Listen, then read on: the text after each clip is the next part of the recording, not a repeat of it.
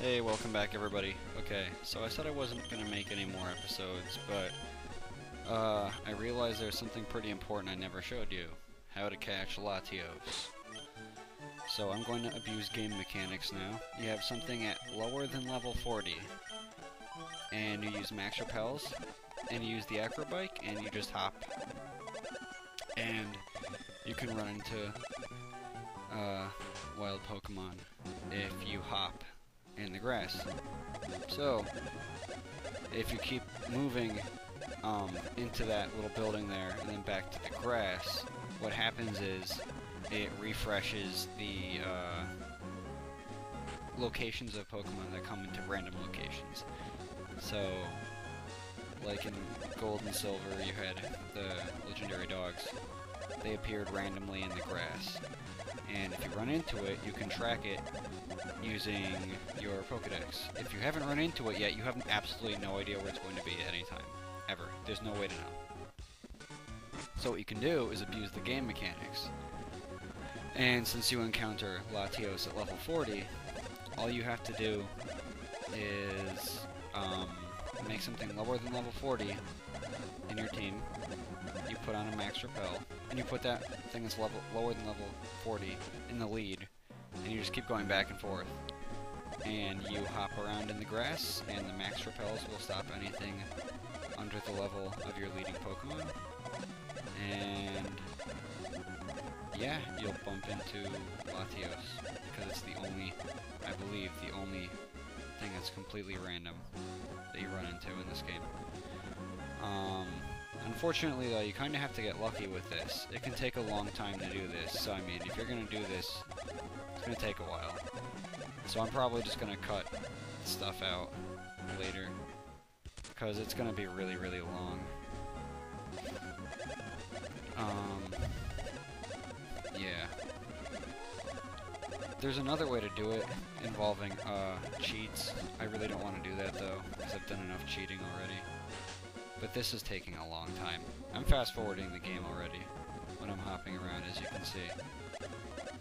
Uh, general rule is to make sure you hop at least like 20 to 30 times and just move around to a couple different segments of grass so you don't completely just uh, miss your chance if it does show up. Shouldn't take long to show up though if it's actually in there. But uh, yeah, you're you're just doing this because since Latios randomly appears somewhere, you're taking a one in I don't know how many different places are there in this game, different routes and cities and stuff. Um, you're taking a one in I think like 30 something chance that when you randomly come into this grass here, after going into the building and out of the building, it'll be there. Uh, man, this isn't very exciting, but this is how you do it. Alright, it's getting ridiculous. I'm just gonna cheat. I'll be right back. Okay, I found some cheats. These are them right here. You put these into the Game Shark Advanced in your emulator if you're on an emulator. If not, you're stuck. Sorry. Okay, so now it shouldn't matter what level Latios appears at. Oh, it'll be the next thing I encounter, I think. If the cheat worked. The next random thing I encounter should be a Latios. What the heck? I guess it's not in this region still. Oh, when I have the max repel on, it still blocks it. It still has to be in the region. Darn it. Alright, repel wore off. I should run into it now. What the? Ah. Okay, I guess Latios still isn't in this region. Try again. Hopefully it works. Whoa! There it level 12. Oh, I guess the hack worked. Huh. Well, the hack is just allowing it to replace uh, a Pokemon in here. I put the hack up there, those are the cheats uh, you saw. And yeah, I'm just going to catch it now with a Master Ball.